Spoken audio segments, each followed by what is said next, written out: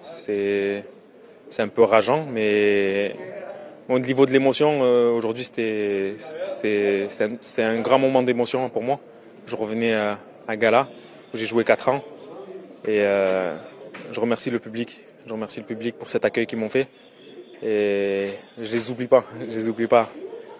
Je les regarde souvent. euh, j'ai des amis encore ici. Donc, voilà, c'est un, grand merci aux supporters de Gala.